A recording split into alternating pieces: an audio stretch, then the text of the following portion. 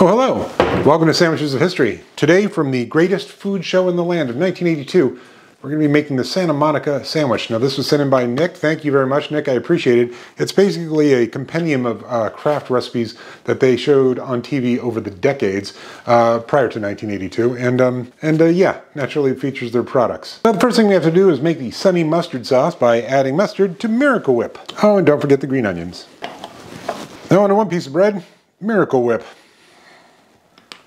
on top of which we put slices of Monterey Jack cheese, alfalfa sprouts, bacon, sliced avocado, and then on the other slice of bread our sunny mustard sauce. Okay, let's give this Santa Monica sandwich a go.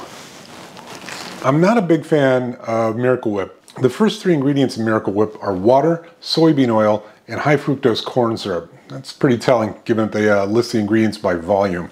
Um, it's not horrible, I think I am going to try and at least plus it up. Put on some sweet cherry peppers. Give a nice pickly flavor to it, hopefully.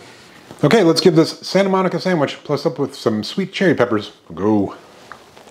Get a nice little pickly pop from there. And yes, they are called sweet peppers, but that's just to say that they aren't spicy. They're not really sweet, overly sweet. They are pickled, so let's bring a nice little tanginess and a little, uh, little bite to it. I gotta say, this sandwich would be actually quite good if it wasn't for the Miracle Whip. Miracle Whip just tastes off to me. It's a little too sweet and a little too almost chemically.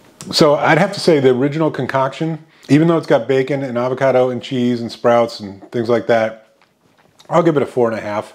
Um, plussed up with a little of the sweet cherry peppers from their pickly brine, I'll give it a five and a half. Um, I'm probably going to finish it just because, I don't know, why not? Uh, would I ever make this again? Yeah, absolutely. Just not with Miracle Whip.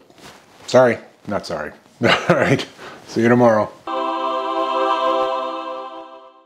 Oh, hello. Welcome to Sandwiches of History. Today from the greatest, mmm, that's not a cover.